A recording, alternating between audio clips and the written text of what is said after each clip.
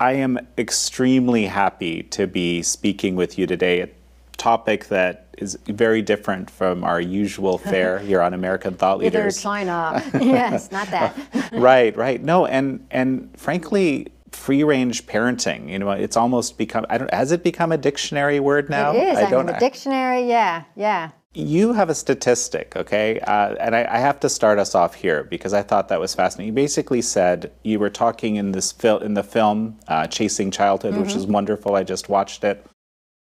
You said something like, you know, crime has been going down, and statistically, for someone's child to be Uh, uh, yeah. abducted, it would take something like seven hundred and Well, fifty you're, you're, you're thousand stepping years. on the punchline here, man. You got to ask somebody, hey, Jan, so how long do you think it would take if you left your kid outside? How long do you think it would take before they could be they'd be abducted by a stranger? And then when I ask this to audiences, you know, people raise their hand and they say, I don't know, uh, you know, 24 hours, and some people say 20 minutes. Some people think two minutes. I mean, it's really, and then once in a while somebody will say 10 years, and I'll say, well, you're close, except that it actually is statistically, uh, if you wanted your kid to be kidnapped by a stranger, how long would you have to keep them out there to, for it to be likely to happen?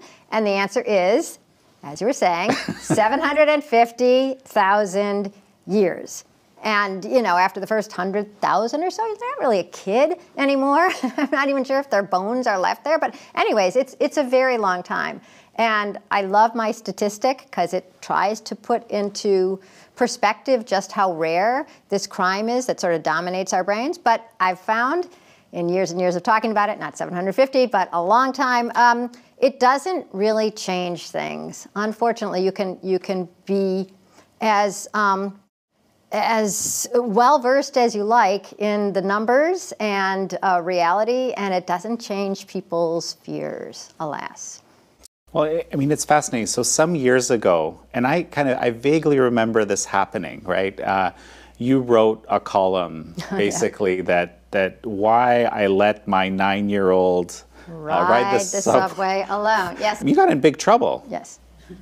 Yeah, and but now I guess the big question is, why, you know, why did you get in big trouble? Oh, that's interesting. Yeah. Um, and and how has that changed? And I guess that's the topic of, of our episode today.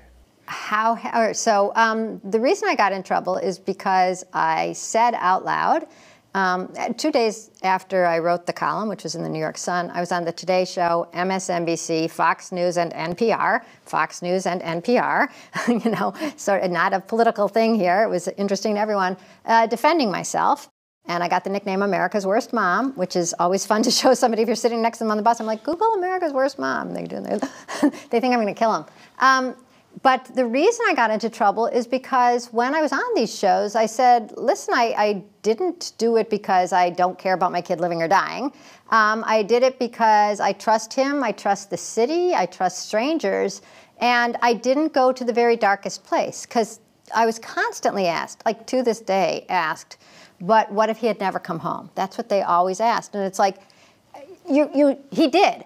Why are we talking about that? And it's like if you're not thinking about that worst case scenario as a parent, you're considered um, evil. You're considered in denial at best, and um, absolutely uncaring and heartless at worst because somehow the, the, the, the literally the knee-jerk thing we're supposed to do these days is imagine our kids dead and it's all our fault.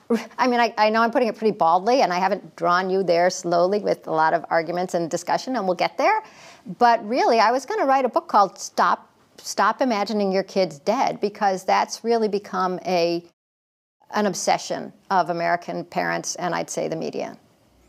Well, and, and it's fascinating. It, also in the film, um, uh, I, I, think it's uh, Dr. Peter Gray that mm-hmm. talks about we're kind of living in a social experiment because for all of human history, right. essentially, right.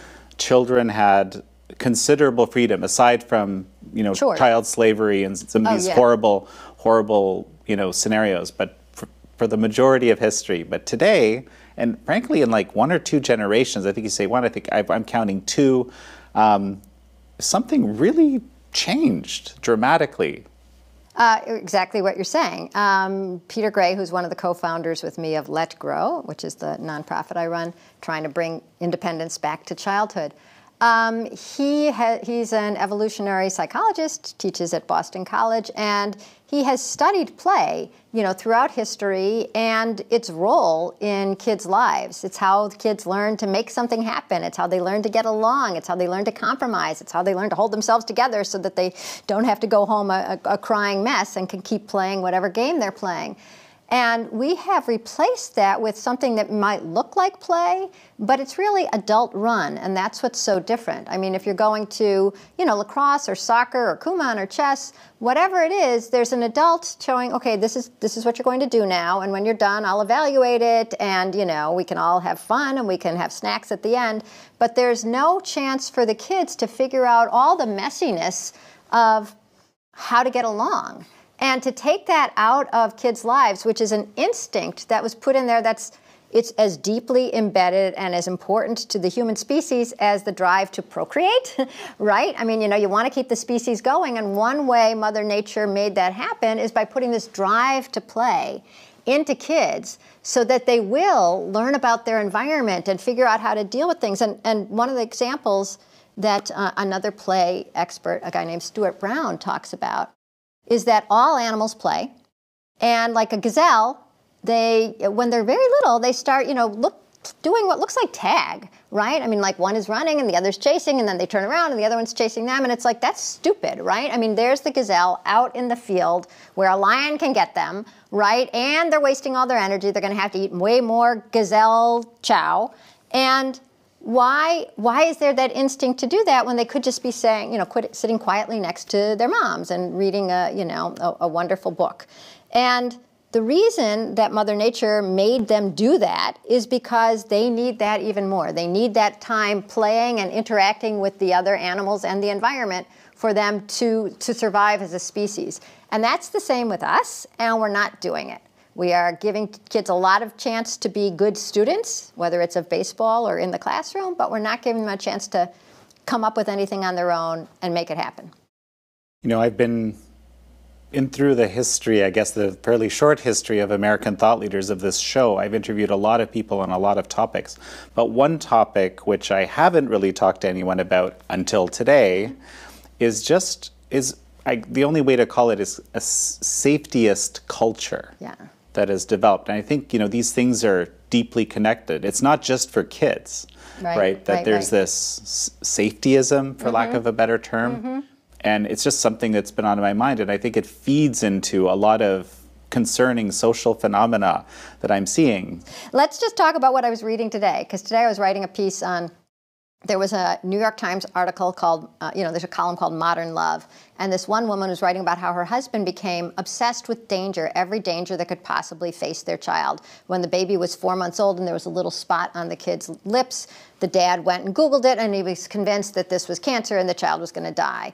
And when they were growing their blueberries in the backyard, he's convinced that the ground is leached with chemicals and they can't eat those blueberries or he'll die. And he put some wood in their wood burning oven, which I think is scarier than anything if a kid's going to touch the wood burning oven. But, anyways, he put the wood in there and he realized it was, un, you know, it was wood that was like old scrap wood and maybe it had arsenic in it. And he was convinced the child was going to die. And they finally went to a you know a shrink who helped him realize that this this is um, obsessive compulsive disorder. You're convinced that everything leads to death and that it's all your fault.